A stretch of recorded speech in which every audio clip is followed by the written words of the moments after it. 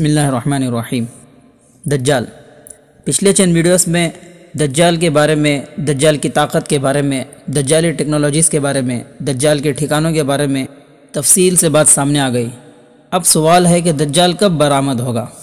इस बहस का तीसरा और आखिरी सवाल, जो पहले दो सवालों से ज़्यादा नाजुक, तहकीक तलब और हतमी जवाब से बईद तरीन है, यह है कि दज्जाल कब निकलेगा। इसे जंजीरों से आज़ादी तो शायद मिल चुकी है कैद से रिहाई कब मिलेगी? और दज्जाल का रास्ता हमवार होने, स्टेज तैयार होने और दज्जाली क़वतों की मादी तरक्की के नुक़ उरूज पर पहुँचने के बाद वो कौन सा लम्हा है जब वो खरूज करके दुनिया को तारीख़ इंसानी की सबसे बड़ी आजमाइश से दो चार करेगा? हमें कुरान मजीद से इस तरह के सवाल के दो जवाब मिलते हैं। नंबर एक, पहला जवाब तो वही है जो सूरह बनी इसराइल की आयत नंबर इक्यावन में वारिद हुआ है। कुल आसा यकून करीबा तर्जमा। ए नबी सल्लल्लाहु अलैहि वसल्लम, कह दीजिए कि आयन मुमकिन है कि वलम्हा मऊद बिल्कुल ही करीब आ गया हो। बिल्कुल इसी तरह की एक आयत सुरह मारिज में भी वारिद हुई है। इन नहुम यरो नहू बईदा व नराह करीबा। यानी ये लोग उसे दूर समझ रहे हैं, जबकि हम उसे बिल्कुल करीब देख रहे हैं। नंबर दो, और वो दूसरा वो उमूमी जवाब है जो कुरान मजीद में मुतद बार आया है। यानी व इन अदरी अकरीब अम बादुम्मा तुआदून ए नबी सल्लल्लाहु अलैहि वसल्लम कह दीजिए कि मैं नहीं जानता कि जिस चीज़ का तुमसे वादा किया जा रहा है वो करीब आ चुकी है या अभी दूर है कुल इन अदरी अकरीब उम्मा तुआदून अम यजअलहु रब्बी अमदा यानी ए नबी सल्लल्लाहु अलैहि वसल्लम कह दीजिए मैं नहीं जानता जिस चीज़ का वादा तुमसे किया जा रहा है वान करीब पेश आने वाली है या भी मेरा रब उसके ज़िम्न में कुछ ताख़िर फरमाएगा। ख़ुलासा यह है कि अल्लाह रब्ज़त ने जिन ख़ास हमतों के तहत क़यामत का इल्म किसी को नहीं दिया, उसे सौ फ़ीसद मख्फी रखा है। इसी तरह अलामत क़यामत के जहूर के वक्त की हतमी तयन भी नामुमकिन ही है। अलबत् बाज़ कराइन और शवाहिद की बिना पर हमारे अकाबिर या इस मौजू से दिलचस्पी रखने वाले अहल इल्म ने अब तक जो कुछ फरमाया है ज़ैल में हम उसे बिला तबसरा नकल करते हैं। नंबर एक बर सग़ीर के मशहूर आलिम दीन और दज्जालियात से खसूस दिलचस्पी रखने वाले और इस पर मुफसल किताब के मौलफ़ हज़रत मौलाना सैयद मनाजिर हसन गीलानी साहब अपनी मारकतलारा किताब दज्जाली फितने के नुमाया ख़द खाल के मुकदमे में लिखते हैं। मगरब का जदीद तमद्दन बज़ाहिर ऐसा मालूम होता है कि अलमसीह के खरूज की ज़मीन तैयार कर रहा है। क्योंकि अपनी इकतदारी क़वतों से वही काम यूरोप की इस निशात जदीदा में भी लिया जा रहा है, जिसमें अदमसीहद्दजाल अपनी इकतदारी क़वतों को इस्तेमाल करेगा। खुदा बेजारी या खुदा के इनकार को हर दिल अज़ीज़ बनाने की राह यूरोप साफ़ कर रहा है या कर चुका है, लेकिन बजाय खुदा के ख़ुद अपनी खुदाई के ऐलान की ज़रूरत इसमें अभी पैदा नहीं हुई है। अलमसीहद्दजाल इसी क़स्से की तकमील कर देगा, कुछ भी हो सही और साफ़ जची तुली बात, जिसमें खामा खा नबूत के अल्फाज में खींचतान और रकीक ताविलों की ज़रूरत नहीं होती। यही है कि अलमसीहद्दजाल की खरूज का दावा तो कबल अज वक्त है, मगर मसीहद्दजाल जिस फितने में दुनिया को मुबतला करेगा, इस फितने के जहूर की इब्तदा किसी न किसी रंग में मान लेना चाहिए कि वह हो चुकी है। दूसरे लफ्ज़ों में चाहें तो कह सकते हैं कि दज्जाल आया हो या ना आया हो, लेकिन दज्जालियत की आग यकीनन भड़क चुकी है। आखिर हदीसों में ये भी तो आया है कि अलमसीहद्दजाल से पहले दज्जाजला का जहूर होगा। बाज़ रिवायतों में इनकी तदाद तीस और बाज़ों में सत्तर चहत्तर तक बताई गई है। दज्जाल से पहले इन दजाजला की तरफ़ दज्जालियत का इंतसाब बिला वजह नहीं किया गया है। बज़ाहिर यही मालूम होता है कि अलमसीहद्दजाल जिस फितने को पैदा करेगा, कुछ इसी किस्म के फितनों में इससे पहले होने वाले दजाजला दुनिया को मुबतला करेंगे। दजाजला माने, यानी चंद लोग ऐसे पैदा होंगे जो नबूत का दावा करेंगे, जिनकी मकदार तीस या सत्तर या छिहत्तर बताई गई है। नंबर दो मुफ़क्र इस्लाम हज़रत मौलाना सैयद अबुल हसन अली नदवी रहमत अलैह सुर कहफ़ और दज्जाल से इस सूरत के खसूस ताल्लुक़ पर लिखी गई किताब मारकत ईमान व मादियत में तहरीर फरमाते हैं। हद आखिर में यहूदियों ने मुख्तलिफ़ इसबाब की बिना पर जिनमें बाज़ उनके नस्ली खसाइस से ताल्लुक़ रखते हैं। बाज़ तालीम व तरबियत से, बाज़ सियासी मकासद और कौमी मनसूबों से इल्म, फ़न और ईजादात और अख्तरात के मैदान में बढ़ चढ़ कर हिस्सा लिया। उन्होंने एक तरह से तहजीब व जदीद पर पूरा कंट्रोल कर लिया और अदब व तालीम, सियासत व फ़लसफ़ा, तिजारत व सहाफ़त और कौमी रहनुमाई के सारे वसाइल इनके हाथ में आ गए। इसका नतीजा ये हुआ कि इन्होंने मगरबी तहजीब, जो मगरबी माहौल में पैदा हुई, कि इनके एक अहम तरीन अनसर की हैसियत हासिल कर ली। जदीद तगैरत का जायज़ा लेने से हमें अंदाज़ा होगा कि बैन अवी यहूदियत का असर और रसूख मगरबी माशरे में किस कदर बढ़ चुका है। अब यह तहजीब अपने तमाम सरमाए इल्म फ़न के साथ अपने मनफी अंजाम की तरफ़ बढ़ रही है और तहजीब व फसाद तलबीस व धजल के आखिरी नुक़े पर है और यह सब इन यहूदियों के हाथों हो रहा है, जिनको अहले मगरब ने सर आँखों पर बिठाया और उनके दूर रस खुफिया मकासद, इंतकामी तबीयत और तहजीबी मिजाज से गाफिल व बेपर्दा होकर उनकी जड़ों को अपने मुल्कों में खूब फैलने और गहरा होने का मौका दिया और उनके लिए ऐसी सहूलतें और मौक़े फ़राहम किए जो तवील सदियों से उनके ख्वाब व ख़्याल में भी ना आ सके होंगे। ये इंसानियत का सबसे बड़ा इब्तला है और ना सिर्फ़ अरबों के लिए जो उनकी भुगत रहे हैं और न सिर्फ़ इस महदूद रकबा के लिए जहाँ मौत व जीस्त की ये कशमकश बरपा है, बल्कि सारी दुनिया के लिए सबसे बड़ा ख़तरा है। नंबर तीन, आलम अरब के मशहूर आलिम दाई और महक़ शेख सफ़र बिन अब्दुलरहमान हवाली अपनी किताब यौमुल गज़ब में कहते हैं, रहा आखिरी मुश्किल सवाल कि गज़ब वाला दिन कब नाजिल होगा? अल्लाह ताला वीराने की गंदगी को कब तबाह करेगा? बैतुलमक़दस की जंजीरें कब कटेंगी? इसका जवाब हमने ज़िमन पहले ही दे दिया है। पहले गुजर चुका है कि दानियाल ने करब व कशाइश के दरमियान पैंतालीस बरस का तयन किया है। हम देख रहे हैं कि दानियाल की निशानदही के मुताबिक पलीद रियासत उन्नीस सौ सड़सठ में कायम हुई, यानी इसराइल का बैतुलमक़दस पर कब्ज़ा उन्नीस सौ सड़सठ में हुआ। तो इस सूरत में इसका ख़ात्मा या इसके ख़ात्मे का आगाज़ 2012 में होगा। इस साल इसके वक़ू की तो है, लेकिन जब तक वाक़ात तस्दीक नहीं करते, हम कोई कतई बात नहीं कह सकते। नंबर चार जाम अजहर के उस्ताद और महदवियात के मशहूर मिस्री महक़ अलस्ताद अमीन मोहम्मद जमालुद्दीन अपनी मारकतुलआरा किताब हर मजदून, यानी आर्मगडोन के सफ़ा तैतीस पर रकम तराज है। नईम बिन हमाद ने रिवायत की है कि काब ने कहा, जहूर मेहदी की अलामत मगरब से आने वाले झंडे हैं, जिनकी क़ियादत कुंदा, यानी कनाडा का एक लंगड़ा आदमी करेगा। मुझे गुमान तक ना था कि अमरीकी एक लंगड़े का इंतखब करके इसे कमांडर चीफ के मनसब पर फाइज करेंगे, बल्कि मैं अपने दिल ही दिल में समझता था कि आरज के लफ्ज़ से मुराद एक कमज़ोर शख्स है, जिसकी राय में कोई वज़न ना होगा। मेरे तो वहम गुमान में भी ना था कि वो एक लंगड़े को दुनिया की फ़ौज का सिपह सालार बनाना दुरुस्त समझेंगे। बदशगुनी के तौर पर कहा जा सकता है कि यह फ़ौज अपने कायद की तरह आजिज़ व दरमानदा होगी।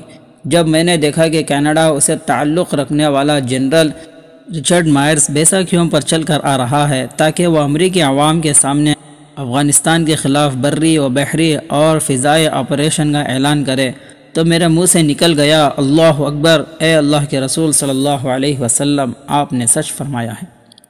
इतिहादी फ़ौज के झंडों, यानी सलेबी झंडों का कनाडा के लंगड़े जनरल की जेर क़ियादत, खरूज, कश्त व खून के आगाज़ की अलामत है और हयो क़यूम की कसम, यही जहूर मेहदी की अलामत है। अगर हम लंगड़े अमरीकी कमांडर इन चीफ पर हैरान हो रहे हैं तो हमें एक और इबारत पर भी हैरान होना चाहिए। जिसको नईम बिन हम्माद ने ही रिवायत किया है।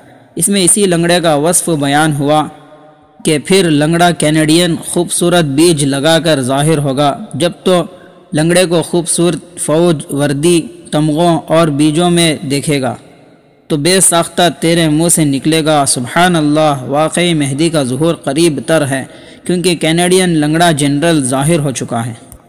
थोड़ा आगे चलकर सफ़ा नंबर छत्तीस पर कहते हैं सन चौदह सौ हिजरी की दहाइयों, यानी दो या तीन दहाइयों में मेहदी अमीन का खरूज होगा।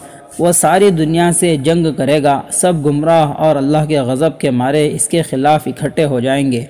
और उनके साथ वो लोग भी, जो इसरा और मराज के मुल्क में निफाक की हद कमाल तक पहुँचे हुए हैं। ये सब मजदून नामी पहाड़ के करीब जमा होंगे। सारी दुनिया की मक्कार और बदकार मुल्क, जिसका नाम अमेरिका है, इसके मुकाबले के लिए निकलेगा। इस दिन वो पूरी दुनिया को गुमराही और कुफ्र की तरफ़ वरगलाएगी।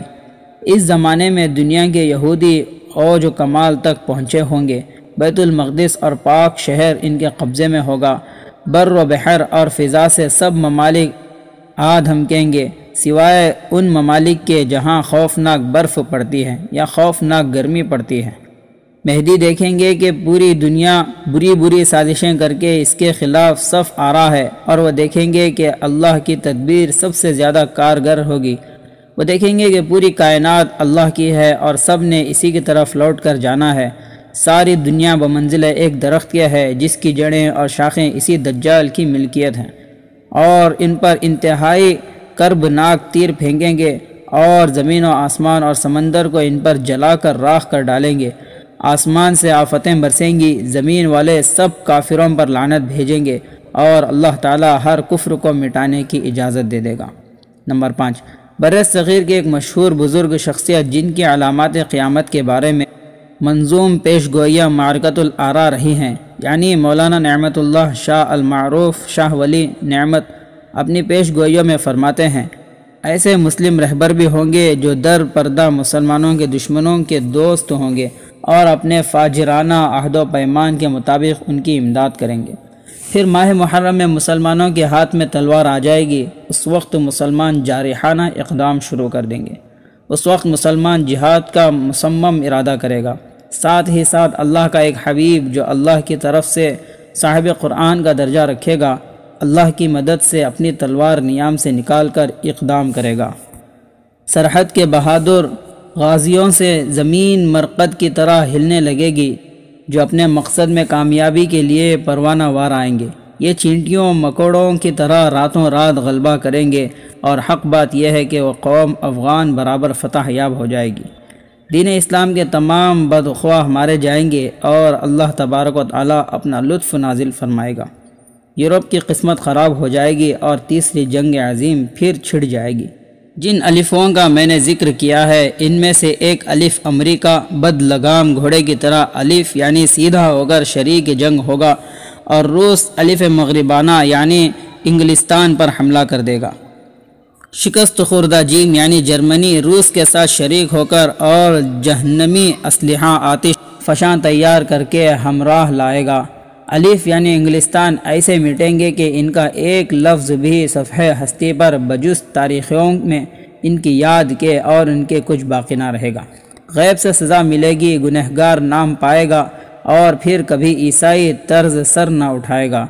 बेईमान सारी दुनिया को ख़राब कर देंगे, आखिरकार हमेशा के लिए जहन्नमी आग का नजराना हो जाएँगे। वो राज बस्ता हैं जो मैंने कहा है और मोतियों की तरह पुरो दिया है। तेरी नुसरत और कामयाबी के लिए एक इसनाद गैबी का काम देगा। अगर तू जल्दी चाहता है और फतह चाहता है तो खुदा के लिए अहकाम इलाही की पैरवी कर। जब आइंदा काना जहूक़ा का साल शुरू होगा तो हज़रत मेहदी अपने महदवियाना अहदा पर जलवा अफरोज़ होंगे। नमत खामोश हो जा और खुदा के राज़ों को आशकारा मत कर। कन तो कंजन सन सात सौ पैंतालीस हिजरी में मैंने ये अशार लिखे हैं। नंबर छः सदर दारुल कराची, हज़रत मुफ्ती मोहम्मद रफ़ी साहब उस्मानी रहमतुल्लाह अलैह, माहनामा अलबलाग में शायद शुदा अपने एक इंटरव्यू में फ़रमाते हैं। सवाल, रसूलुल्लाह सल्लल्लाहु अलैहि वसल्लम के मुस्तबिल के बारे में बशारतें और उनकी तत्बीकी सूरत हाल के बारे में रहनुमाई फरमाएँ। जवाब, इस सिलसिले में जो हज़रत अलैहि वसल्लम ने पेशगी खबरें दी हैं इनकी रोह से अगर देखा जाए तो ऐसा मालूम होता है कि मौजूदा पूरी दुनिया की सियासत जोग्राफिया और हालात में जो तब्दीलियाँ बड़ी तेज़ी से रूनुमा हुई हैं और हो रही हैं, ये सब उस दौर की तरफ़ दुनिया को ले जा रही हैं जो हज़रत मेहदी के जहूर से सामने आने वाला है। और यह सारा मैदान इसलिए तैयार हो रहा है।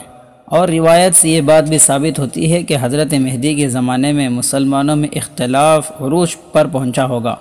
इख्तलाफ का खात्मा वही करेंगे और दोबारा खिलाफत इस्लामिया कायम होगी, जिसके सरबरा हज़रत मेहदी होंगे। बज़ाहिर व वक्त अब ज़्यादा दूर नज़र नहीं आता। सवाल, हज़रत मेहदी के जहूर के पहलू व पहलू दज्जाल का ज़ाहिर होना भी आता है? जवाब, पूरी उम्मत के लिए आजमाइश का वक्त होगा, बस इतनी बात है कि इस्लाम की ज़िल्लत का वक्त नहीं होगा, इसलिए कि मुसलमान एक अमीर के झंडे के नीचे मुतहद होंगे और हक़ उनके सामने खुला हुआ होगा। हज़रत मेहदी का कौल हक़ होगा और उनके ख़िलाफ़ जो होगा वो बातिल होगा। उस मुश्किल में वो दो चार नहीं होंगे जब जिस मुश्किल में अब हम रहते हैं कि किस बात को हम सही कहें, किस को गलत कहें।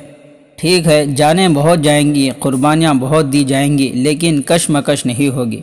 ज़िल्लत नहीं होगी, मुसलमान की मौत होगी तो इज़्ज़त की मौत होगी। ये तो इस सिलसिले में हज़रत का इंटरव्यू था। आपका एक मजमून अम्बिया की सरजमीन में चंद रोज़ भी अलबलाग में किस्त व शाये हुआ है। इसकी पाँचवीं किस्त में आप तहरीर फरमाते हैं। उर्दन में जिन जिन तारीख़ी मकाम पर जाना हुआ, अक्सर जगह इसराइल के मकबूजात भी साथ ही नज़र आए, जो उन्होंने मुसलमानों से छीने हैं। ज़ाहिर है कि यह हमारी शामत आमाल का नतीजा है। दिल जो शामत आमाल से पहले ही ज़ख्मी है और इन मनाजिर को बचश में ख़ुद देख देख कर और भी चोट पर चोट खाता रहा। लेकिन पूरी दुनिया जिस तेज़ी से बदल रही है और जिस तरह बदल रही है खसूस शर्क़ वस्ती, यानी मिडिल ईस्ट में तकरीबन साठ साल से जो इनकलाब रूनुमा हो रहा है, उन्हें अगर रसूल सल्लल्लाहु अलैहि वसल्लम की बयान फरमदा अलामात की रोशनी में देखा जाए तो साफ़ पता चलता है कि दुनिया अब बहुत तेज़ी से क़्यामत की तरफ़ रवानवा है। उर्दून और शाम के इस सफ़र में कदम कदम पर नज़र आता रहा कि यह हज़रत मेहदी के जहूर और दज्जाल से इनकी होने वाली जंग का मैदान तैयार हो रहा है।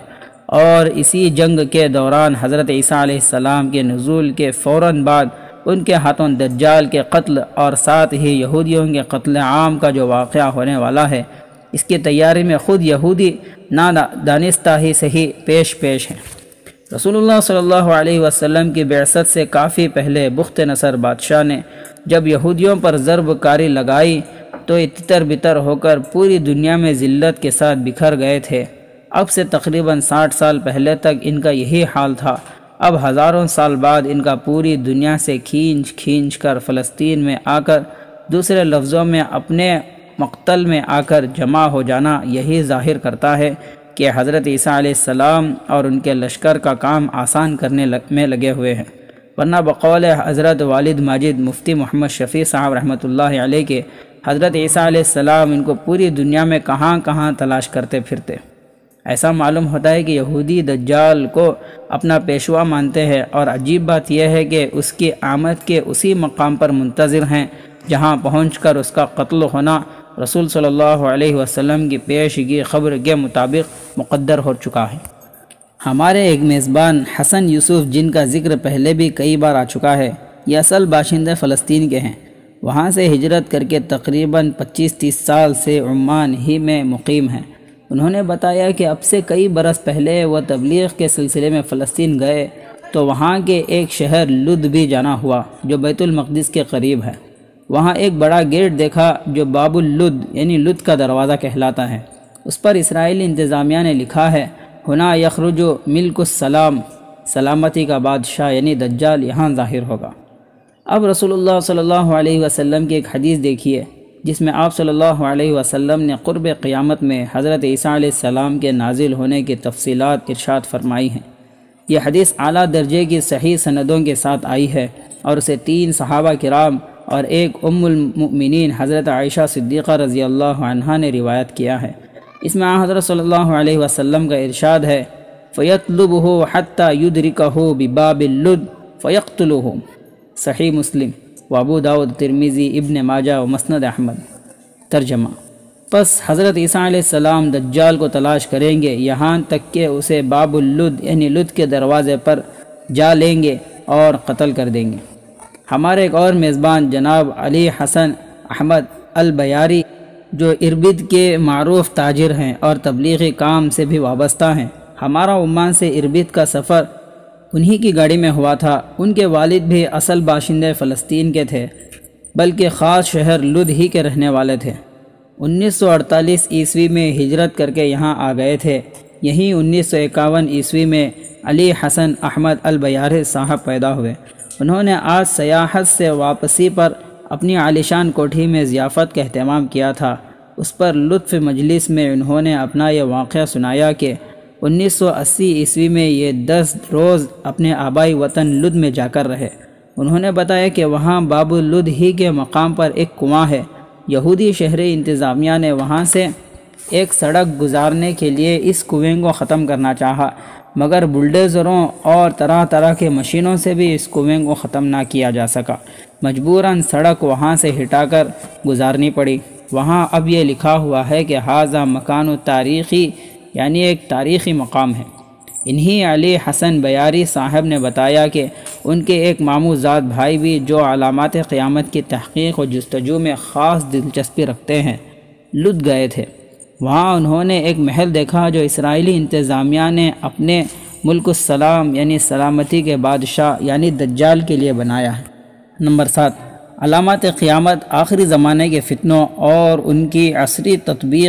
पर काम करने वाले एक और साहिब बसीरत आलिम, हज़रत मौलाना आसिम अमर फ़ाजिल दारुल्लुम देवबंद, अपनी मकबूल आम किताब तीसरी जंग अजीम और दज्जाल में फरमाते हैं, जहाँ तक ताल्लुक़ वसाइल पर कब्ज़े का है तो अगर आज से पचास साल पहले जंगों के बारे में कहा जाता कि दुनिया के वसाइल पर कब्ज़ा करने के लिए हैं तो किसी हद तक दुरुस्त था। लेकिन इस दौर में इन जंगों को तेल और मादनी वसाइल की जंग कहना इसलिए दुरुस्त नहीं कि अमेरिका पर हुक्मरानी करने वाली असल क़वतें अब तेल और दीगर दौलत के मरहले से बहुत आगे जा चुकी हैं। अब उनके सामने आखिरी हदफ है और वह अपनी चौदह सौ साल जंग के आखिरी मरहले में दाखिल हो चुके हैं। मौलाना मसूफ़ सदाए उम्मत में तिलिस्म कुशाई के नाम से बरमोदा तिकोन, यानी बरमोदा ट्रायंगल पर लिखे गए कालम में फरमाते हैं, यह फितना दज्जाल है जिसको याद करके सहाबा रज़ी अल्लाह अजमाइन रोने लगते थे। ख़ुद नबी करीम सल्लल्लाहु अलैहि वसल्लम इतने फ़िक्रमंद रहते थे कि मदीन मनवरा में एक लड़के, इब्न सयाद के पैदाइश के ख़बर आप सल्लल्लाहु अलैहि वसल्लम को मिली, जिसमें दज्जाल की निशानियाँ पाई जाती थीं। तो आप सल्लल्लाहु अलैहि वसल्लम ख़ुद उसके घर तशरीफ़ ले जाते और छुप छुप कर उसके बारे में तहकीक़ात करते थे। फिर क्या वजह है कि मोहम्मद सल्लल्लाहु अलैहि वसल्लम की बातों को सच्चा मानने वाली उम्मत अपने गर्द पेश के तमाम ख़तरात से बेनियाज, नामालूम सिमतों में भटकती फिर रही है। होना तो ये चाहिए था कि हम उड़न तश्तरियों और बरमोडा ट्रायंगल के वाक़ात की भनक लगते ही संजगी संजीदगी से इस मौजू की तरफ़ तवज्जो करते, लेकिन यूँ है कि दज्जाल के निकलने का वक्त करीब है कि उलमा ने भी इसका तस्करा मंबर व महराब से करना छोड़ दिया है। नंबर आठ, दज्जालियात के मशहूर महक़ डॉक्टर इसरार आलम ने अपनी किताब दज्जाल की तीनों जिल्दों पर तकरीबन एक जैसा मुकदमा लिखा है। फरमाते हैं, बीसवीं सदी ईस्वी के आखिरी दिहाई तक आते आते वाज तौर पर महसूस होने लगा है कि यह उम्मत तारीख़ इंसानी के इस मरहले में दाखिल हो चुकी है, जिसकी खबर देते हुए रसूलुल्लाह सल्लल्लाहु अलैहि वसल्लम ने फरमाया था, अन करीब कौमें तुम पर टूट पड़ने के लिए बुलावा देगी, जैसे भूखे जानवर खाने पर टूट पड़ने के लिए बुलावा देते हैं। इस हौलनाक सूरत हाल से ज़्यादा कर्ब की बात यह है कि उम्मत मुस्लिमा, जो दुनिया की वो वाहिद गिरोह है, जिसे माजी, हाल और मुस्तबिल का काफ़ी इल्म, माँ काना व माँ हुआ का दिया गया आज हैरान व नावाकिफ़ राह भटक रही है और दुनिया की तारीकियों से रोशनी की भीख मांग रही है। चौदह सौ सदियों बाद अब आसार क़ियामत के ज़ाहिर होने की रफ्ता तेज़ होती हुई महसूस होती है। गोया कोई हार टूट जाए और यके बाद दीगरे दाने गिरने लगे। मौसूफ़ की किताब फितन दज्जाल अकबर के मुकदमे में भी बेआन ही यही अल्फाज दर्ज किए गए हैं। वाज हो कि मौसू अपनी इन किताबों में कई जगह जमहूर के मसलक अतदाल से हिट गए हैं, लेकिन इनके दर्द दिल और मौजू पर नज़र और गिरफ्त से इनकार नहीं किया जा सकता।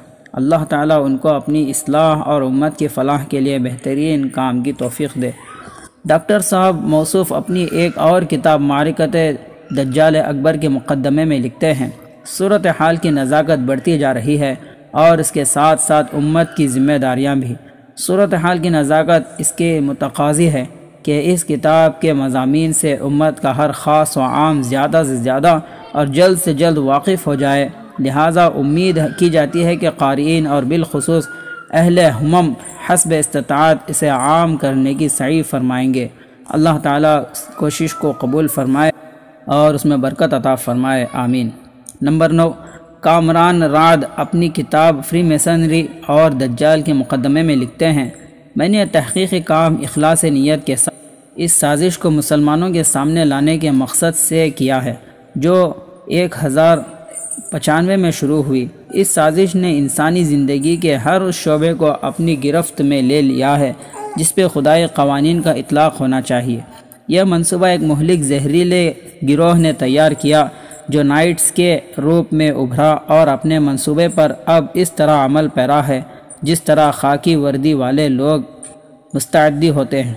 इनका मकसद लोगों को खुदा के रास्ते से मुनहरफ करके शैतान के गैर इंसानी रास्ते पर गामजन करना है, ताकि उन्हें ठीक वो मौजू हालात मैसर आ जाए, जिनमें अलमसीहलकज़ाब दज्जाल की आमद मुमकिन हो सके। वो वक्त ज़्यादा दूर नहीं है कि जब हम कुछ कर सकने के काबिल नहीं रहेंगे। हम न्यू वर्ल्ड ऑर्डर के शिकंजे में बुरी तरह जकड़े जाएँगे, जो हमारी तरफ़ अयारी और ख़ामोशी से मुसलसल बढ़ता चला आ रहा है। नंबर दस, मौलवी महमूद बिन मौलाना सुलेमान बारडोली मदरस जामिया इस्लामिया ढाबे अपनी किताब जहूर मेहदी कब, कहाँ, कैसे में फरमाते हैं? अहादीस में बहुत ही ताक़द के साथ हज़रत मेहदी की तशरीफ़ आवरी और उसके बाद उम्मत मुस्लिमा के अरूज व तरक्की की यकीनी खबरें दी गई हैं। लेकिन साथ ही किस वक्त, किस साल, किस माह में आपका जहूर होगा, इसकी तयन नहीं की गई। हाँ अहादीस से जिस ज़माने में आपका जहूर होने वाला है, उस वक्त के उम्मत मुस्लिमा के अहवाल का काफ़ी हद तक अंदाज़ा हो सकता है, जिससे ये पता चल सकता है कि अब जहूर का ज़माना करीब है। नंबर ग्यारह।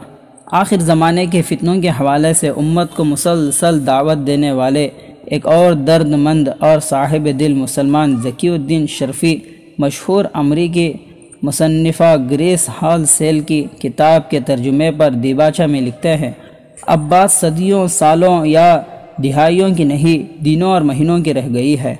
अल्लाह के लिए जागें और आँखें खोल कर हालात को देखिए। अल्लाह ताला हम सब की रहनुमाई फरमाए और आलम इस्लाम और मिलत इस्लामिया का हामी व नासिर हो। नंबर बारह डॉक्टर इसरार अहमद साहब अपने बयानात पर मुश्तमिल किताब, सबका और मौजूदा मुसलमान उम्मतों का माजी हाल और मुस्तबिल और मुसलमान पाकिस्तान की खसूस ज़िम्मेदारी के मुकदमे में कहते हैं, बैन अवी हालात जिस तेज़ी के साथ तब्दील हो रहे हैं और तारीख़ जिस बर्क रफ्तारी से करवटें बदलने लगी हैं, इसके पेश नज़र मुल्क व मिलत का दर्द रखने वाला हर शख्स ये सोचने पर मजबूर है कि उम्मत मुस्लिमा और इस्लाम का मुस्तबिल क्या होगा। बाद नज़र में तो यही दिखाई देता है कि इस्लाम मुखालिफ तमाम क़वतें अब वाहिद सुपर पावर अमरीका, जिसे एक एतबार से सुप्रीम पावर कहना भी गलत ना होगा, के झंडे तले मुसलमानों और इस्लाम के ख़िलाफ़ मुतहद हो चुकी हैं। और सितम ज़रीफ़ी ये कि क़वत व ताकत के नशे में सरशार इस सुपर पावर के सर पर यहूदी सवार हैं, जिसकी मुसलमान दुश्मनी महताज बयान नहीं इस तनाजुर में साफ़ नज़र आता है कि उम्मत का मुस्तबिल नहायत तारीख है और शदीद अंदेशा है कि दज्जाली फितने का यह सैलाब मुसलमानों को खस व शाख की तरह बहा लेकर जाएगा। इसी किताब में आगे चलकर अपने तासरात का खुलासा यूँ बयान करते हैं, हाल ही में एक और कामयाबी इन्हें खलीज की जंग के बाद हासिल हुई और वो ये कि फ़लस्तीनियों समेत तमाम अरब ममालिक ने इसराइल को इस हद तक तो तस्लीम ही कर लिया है कि इसके साथ मुजाकरात की मेज़ पर बैठने के लिए तैयार हो गए। अब ज़ाहिर है कि इनकी आखिरी मंजिल मकसूद दो चार हाथ जबकि लबे बाम रह गया के मजदाक़ कामिल बन चुके हैं। और वो है अजीम तर इसराइल का क़्याम और हैकर सुलेमानी की तामीर नौ। इस आखिरी मंजिल तक पहुँचने के लिए यहूद का साजिशी जहन ऐसी तदाबीर इख्तियार करेगा कि मुस्लिम फंडामेंटलिज़म का हवा दिखाकर मगरब की ईसाई दुनिया को मुसलमानों खसूस अरबों से लड़वा दे। चुनानचे यही सिलसिला मलाहिम का असल पस मंज़र होगा और इसके ज़िम्न में जब इसराइली यहूदी दिखाएँगे कि हज़रत मेहदी की क़्यादत में मुसलमानों का पलड़ा भारी होने लगा है तो कोई इसराइली लीडर अनल मसीह का नारा लगाकर मैदान में कूद जाएगा। चुनानचे यही अलमसीह दज्जाल होगा, जिसके हाथों मुसलमानों को शदीद हजमियत उठानी पड़ेगी और एक बार तो अजीम तर इसराइल कायम हो ही हो ही जाएगा। ये दूसरी बात है कि फिर अल्लाह ताला असल हज़रत मसीह अलैहिस्सलाम को भेज कर यहूदियों का क़िला कुमुक कर देगा और वही अजीम तर इसराइल इनका अजीम तर कब्रस्तान बन जाएगा। वमा ज़ालिका अल्लाह बेअज़ीज़। इन दर्जन भर हवालों में जो बात मुश्तरक है वो ये है कि इस मौजू से दिलचस्पी रखने वाले अरब व के अहल इल्म अब उस वक्त को कुछ ज़्यादा दूर नहीं समझते। इन सब का विजदान, व शूर और इदराक ये कहता है कि उम्मत इस मुश्किल वक्त के लिए ख़ुद को तैयार कर लेना चाहिए, जो इंतहाई खौफनाक फितनों को अपने जलवों में लेकर अनकरीब इन पर आ पड़ने वाला है।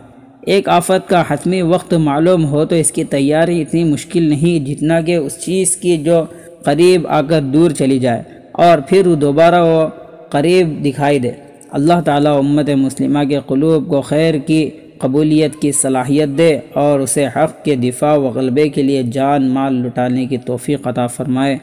आमीन वाखिर दावान अनिलहमदिल्ला रबालमीन